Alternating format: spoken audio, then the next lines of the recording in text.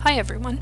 Today I'd like to show you the features of our event planning module. With this module you can schedule your stations for regular monitoring events, create a plan based on what stations are due and what needs to be collected during field activities, as well as close out a plan to ensure that everything that was planned to be collected was in fact done. This module is designed to make planning and tracking field events fast and easy, thereby making the data collected more effective and valuable. we will begin by loading the event planning module. It loads as a tab in the main window.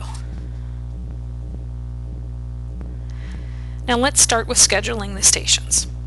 This project does not have any yet, so we'll create a new one by selecting the New button.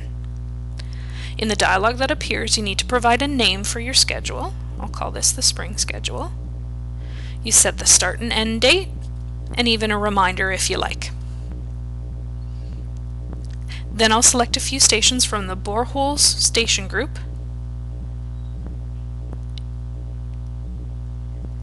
and select these to be sampled.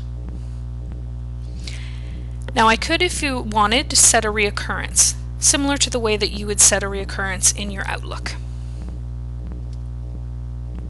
Once I've saved and closed this schedule, you'll see it in the list of all the schedules for the project. And once I close this dialog, you can see the event is scheduled in the calendar, and when I click on it, you can see all of the stations which are due for sampling. And now we'll create a plan to go to the field and collect the samples.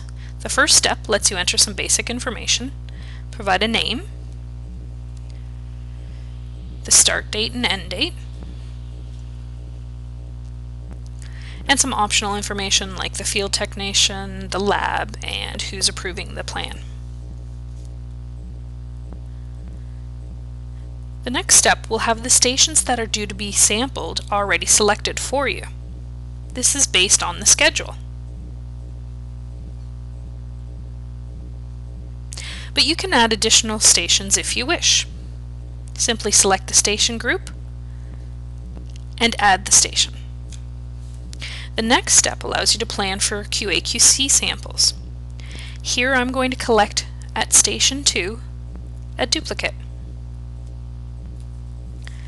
And now the next step allows you to indicate which parameters will be analyzed when the samples are sent to the lab.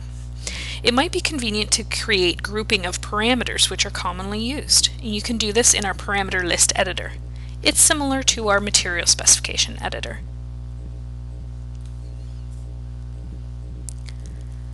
For this example, I'm going to use the organic chemicals parameter group.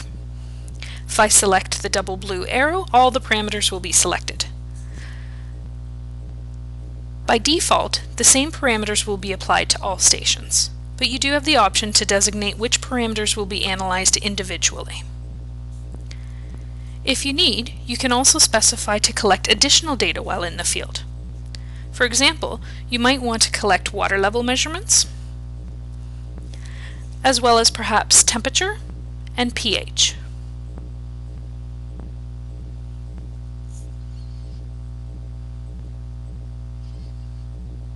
Again, you can apply this to all the stations or individually. And finally, you can create a checklist of things to bring into the field, so the field personnel don't forget anything. Now at the last step, all you need to do is select the Finish button, and this saves your event plan and creates a report for you to take into the field. The report will be generated in Microsoft Word and it opens up so you can review it. The basic plan information is in the header and the first page is a summary including the list of stations that need to be sampled and their coordinates as well as the checklist of things to bring. Thereafter, each station has its own page with details like the parameters that are to be analyzed for that sample, if a QA/QC sample needs to be taken at that station, as well as any additional data that needs to be collected while in the field. Once you've reviewed the report, you can print it off and give it to your field personnel.